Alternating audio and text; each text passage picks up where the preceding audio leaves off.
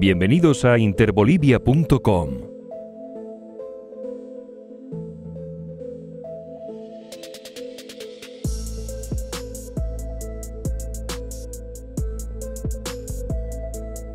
ante la muerte del Congreso,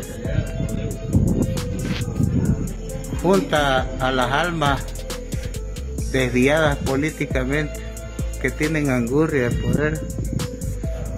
Estamos velando para que se encaminen por el camino revolucionario del bien, que tomen conciencia,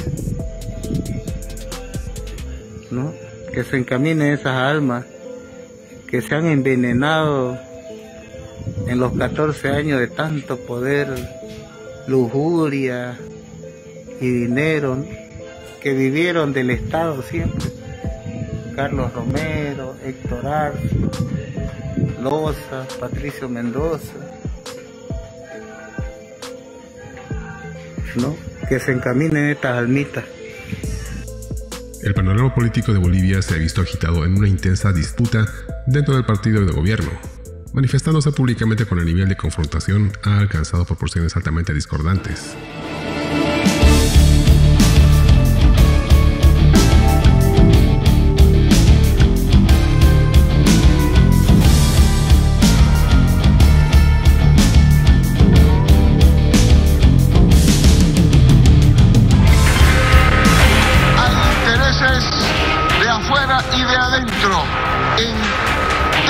Nuestro gobierno.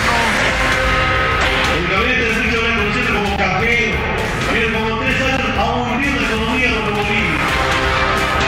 Nosotros pasaremos, pasaremos a la historia y hay que saber eh, cuándo uno cuelga los cachos. Hablar unidad y por debajo está dividiendo con prebenda. Tiene que haber una sola unidad ideológica en nuestro instrumento político. Griten lucho, lucho para no perder su trabajo. La derecha internacional y nacional de dividir nuestras organizaciones sociales. Eh, lamentablemente es como no tuvieron vicepresidente. David todo perdido, no dice nada. No volver a repetir malos ratos que pasamos, como lo que ocurrió en 2019, hermanos. Hermano Lucho, es, si tiene que cambiar ministros, cambie su responsabilidad.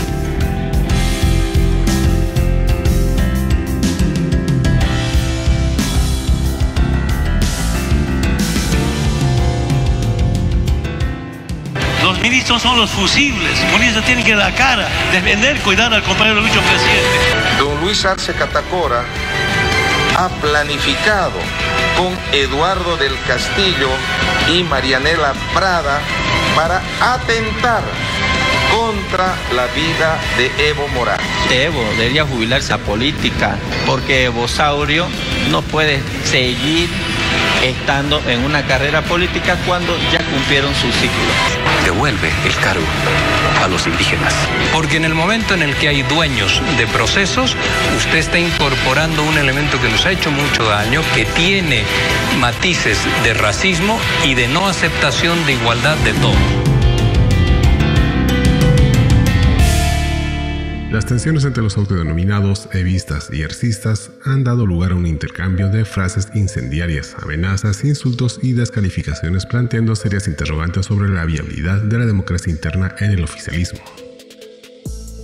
Lo que pasa es que los hermanos llamados evistas, que ahora yo creo que ya son disidentes dentro del movimiento al socialismo, se han convertido expertos, igual que el jefe, en mentir, mentir y mentir. No hemos pasado de tener un gran líder a un gran mentiroso, con muchas personas que están siguiéndole el mismo ritmo.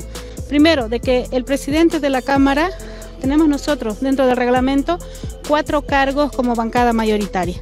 O sea, le guste a quien le guste, la presidencia de la Cámara le corresponde al movimiento al socialismo. La batalla en la Cámara de Diputados ha terminado, pero no en la Cámara de Senadores. El día lunes eh, nuevamente se va a enfrentar Andrónico Rodríguez con la contrincante, que es una mujer arcista. ¿Qué piden ustedes? ¿Van a consensuar? ¿Por qué no se da oportunidad a otros y otras si decimos que somos un país con oportunidades para todos? En ese marco, la hermana Ana María Castillo, que es ahora la candidata a senadores, ¿no? Juntamente con la otra plancha donde se encuentra el señor Andrónico Rodríguez, están pugnando. Es un conflicto del movimiento socialismo que esperemos que lo puedan eh, solucionar. Una cara de caudillo que quiere estar a la fuerza como sea. Y han visto ayer, ha dado un cuarto intermedio por media hora luego dijo a las 5, luego dijo a las 9 y media y luego prácticamente a las 10 ha reiniciado la sesión para luego nuevamente dar un nuevo cuarto intermedio. Y esa es una búsqueda, es una chicanería para no entrar en elección porque ellos sabían que no tenían condiciones de ganar. En medio de ese torbellino verbal, persiste una cuestión fundamental en la interna del partido gobernante. ¿Es factible alcanzar un consenso democrático o se verá obstaculizado por la polarización interna? Aunque los involucrados continúen elevando la retórica beligerante, queda pendiente la resolución definitiva de la crisis interna que involucra a dos facciones en pugna, cada una con un reglamento de legítima representatividad. La oposición con el oficialismo ahora, que es con el gobierno Lucho, pues hacen justamente una megacoalición, hacen ver y lo dan a conocer públicamente. No estábamos equivocados, creo, al demostrar, no estábamos equivocados al hablar, al decir de que el Frente Amplio justamente va a aglutinar a estos diferentes partidos y que se va a armar la megacoalición. ¿Saben qué? Están disfrazando con otro nombre esa megacoalición que hace años nefastos estaba vigente. Ahora lo llaman Frente Amplio. Claro, porque si dicen como antes lo dicen la megacoalición, les va a quedar mal y no van a poder trabajar con, las, con los sectores sociales. Pero hay que ser claros y sinceros. Hay que decirles la verdad al pueblo boliviano. ¿Por qué tenemos que mentirles? Esto va a provocar que también reaccionemos nosotros. No podemos quedarnos que el poder que ahora tiene Lucho vaya a dar y estar coordinando con estos de la mega coalición. Claro, la mega coalición se realiza por acuerdos y pactos. ¿Para qué? Para no llevarles preso, para no detenerlos, pero sí para detener a quién? Al hermano Evo Morales. Sí para perseguir políticamente a quién? A los que son evistas. Sí perseguir al pueblo boliviano que reclama cuando dice no ve, no a Lucho y le meten preso. No obstante, este conflicto interno está generando una división palpable en el ámbito de la gobernabilidad especialmente en la Asamblea Legislativa Plurinacional, donde la correlación de fuerzas ha sido un objeto de aguda confrontación. El predominio del arcismo en la Cámara de Diputados junto con la lucha de un curso en la Cámara de Senadores ha redefinido el escenario político, exigiendo al Ejecutivo habilidades extraordinarias para el diálogo y la persuasión en aras de mantener la estabilidad gubernamental. Lo les digo ahorita a los compañeritos de justicia, no hagan semejante barrabasada. Ni la embajada se atrevió y pudo. Ni Banzer ni Tuto Quiroga proscribieron a este hombre. No se proscribe a los revolucionarios. Puede estar uno en desacuerdo, decirle tu táctica está, mal, pero proscribir a este hombre que es tan querido por la gente más pobre del país sería una brutalidad imperdonable. Divídanse, hagan su partido, pero proscribir a Evo sería un error político imperdonable que, lo, que colocaría a quienes están empujando esto en una condición de ser eh, herramientas y esbirros de presiones imperiales. Se ha llegado a un consenso que lo único que se quiere es el respeto al acta que se ha hecho en diferentes reuniones. En ese sentido, hay una única bancada nacional, por consiguiente hay varios firmantes.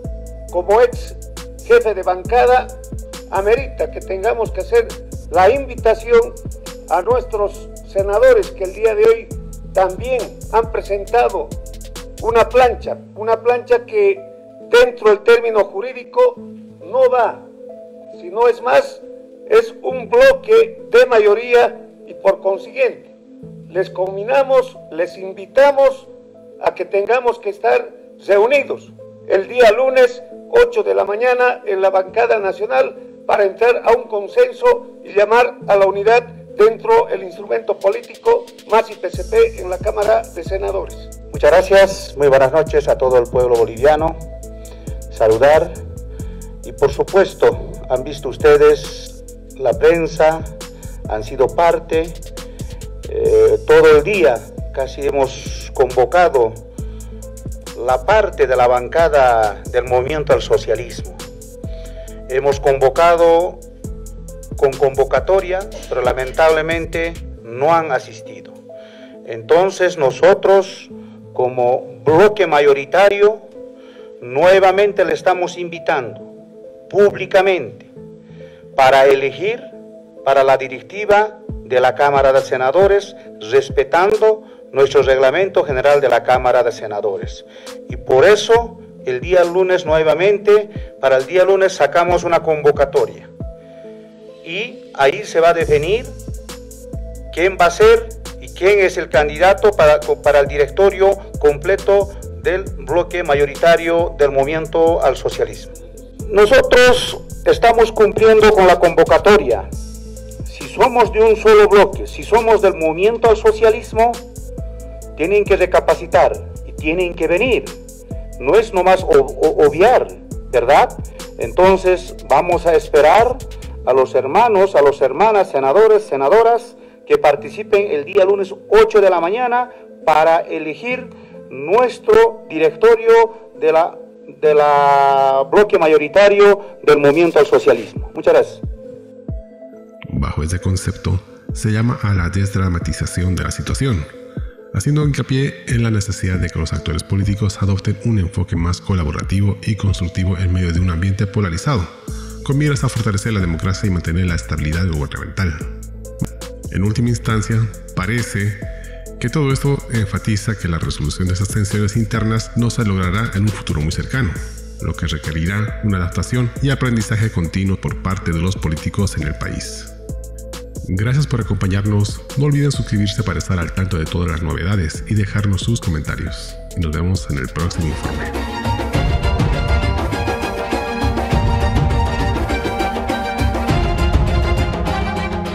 Subimos vídeo y contenido todos los días.